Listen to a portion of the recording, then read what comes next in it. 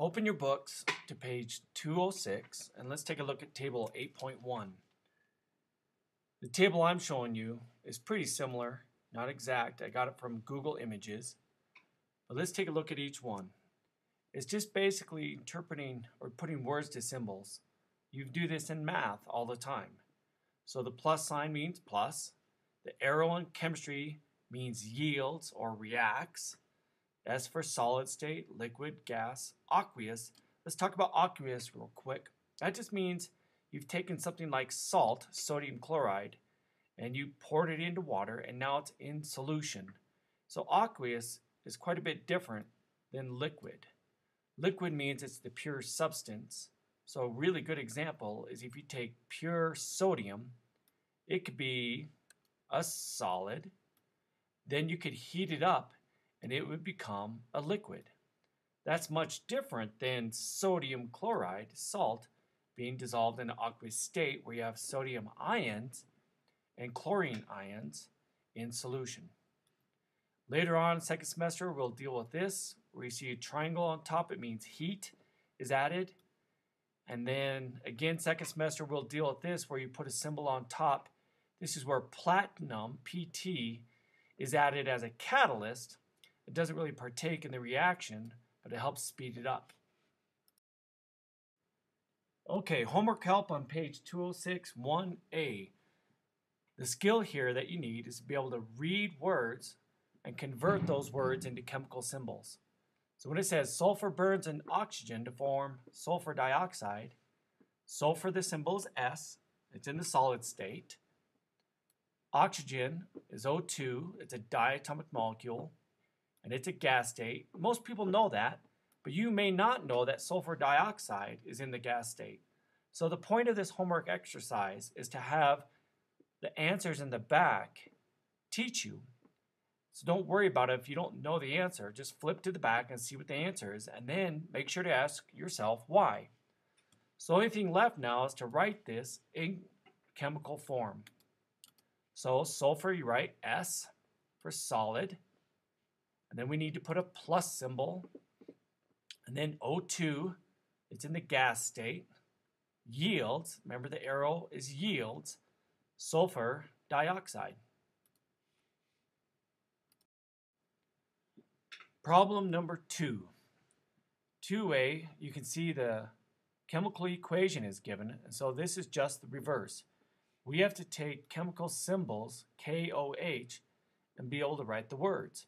So this is very similar to the quiz you took. Given the symbol, write the name. Given the name, write the symbol. And so it helps to recognize that KOH is ionic. So I just name the cation and the anion. And that's potassium hydroxide. H2SO4.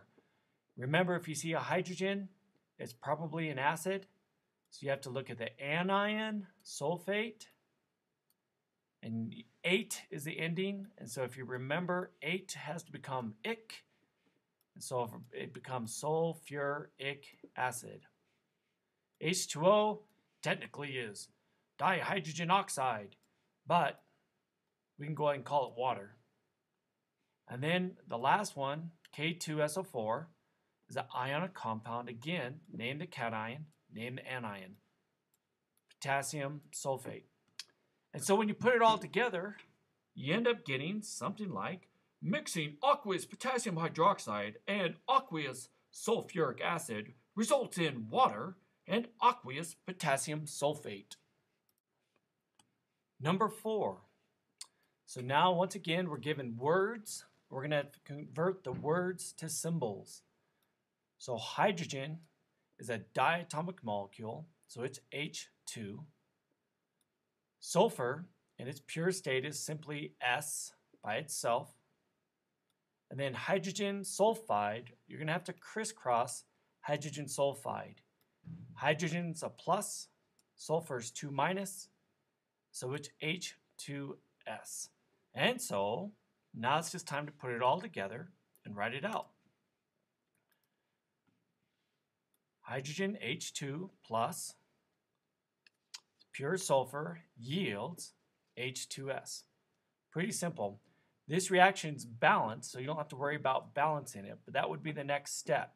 but just to confirm that, you can see two hydrogens on this side and two hydrogens on the product side, one sulfur on the reactant and one sulfur on the product. Number eight, once again, we're given words, and we're going to have to convert those to symbols. And so the first thing we need to do is write sodium out. It's a metal, so you just simply write it Na. With water, I recommend that you write water as H, click OH, a hydrogen with a hydroxide polyatomic ion. And that'll help you see hydroxide ions separate when you're balancing. Sodium hydroxide, we have to write this cation and the polyatomic anion, Na plus, OH minus. And the reason I say the charges is you need to pay attention to crisscrossing. In this case, the charges cancel, and so we're okay like it is. And then hydrogen, remember, is one of those diatomic molecules. So now it's time to balance using coefficients. And so what I recommend is you look where it's interesting. There's two hydrogens here. Everywhere else, there's simply one of everything else. So hydrogen is a good place to start. On the reactant side, there's only one hydrogen. And so we need to put a coefficient of 2 there. Okay, so now when you do that, that means the 2 applies to the hydrogen and the hydroxide. And So we're going to go back to this other side and balance the hydroxides. You look right here, hydroxide, there's only one of them. So we're going to have to put another coefficient of 2 in front of the sodium hydroxide. Remember the coefficient applies to both parts. So now we do have two hydroxides, but we also have two sodiums. So we're going to need to come way back here, back to the reactant side, and simply put a 2. And now it's balanced. We have two sodiums, two waters, two sodium hydroxides, and one hydrogen.